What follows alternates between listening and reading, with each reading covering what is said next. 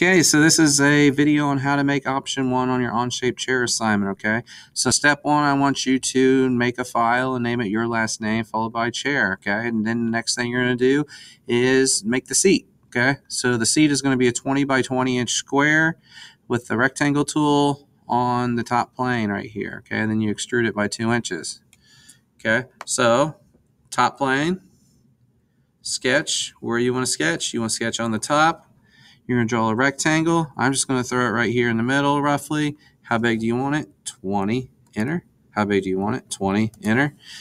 And many of you haven't made big stuff yet, but if you just hit the word top right here, it just zooms it out here for you, okay? So yes, it should be pretty big compared to what was normally on your screen because this is going to be, you know, size for someone to actually sit in.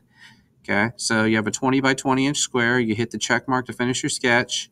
Then you hit extrude. What do you want to extrude? This right here and our direction said to make it two inches. So we're going to change the one to a two, hit enter, hit the check mark, go to your isometric view right here to make sure that it did what you wanted it to do, which should be pretty simple right there, which is nice.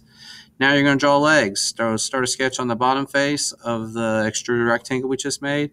Draw two inch squares on each corner and extrude them down by 18. So I'm going to go to the bottom view so I'm on the bottom, sketch, where do I want to sketch? On the bottom of that shape.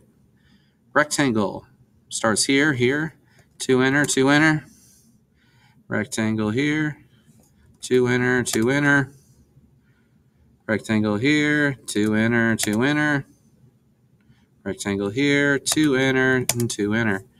So then you hit your check mark, you hit extrude, and the only thing that's on sketch 2 are those four uh, corner rectangles. So we might as well just click there instead of everything individually. We're going to make them stick out 18 inches like the instructions say. Hit the check mark. We're going to go to our isometric view to make sure all the legs are out the way we like. Okay, perfect so far. Now all we got to do is do the backrest and we're done with this assignment. So we're going to start a sketch on the top of the seat we just made. So over here on the right, go to your top view right there sketch, where are you sketching on the top of that shape we just made. Then what's our next direction? Draw a, rect a rectangle starting at the back corner and stretch to the other side of the seat, and it should be two inches. Okay, so rectangle that starts right here, and it just goes to this edge.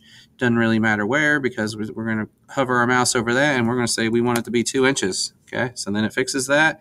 Hit our check mark, and we're going to extrude that by 20 inches. So extrude that by 20.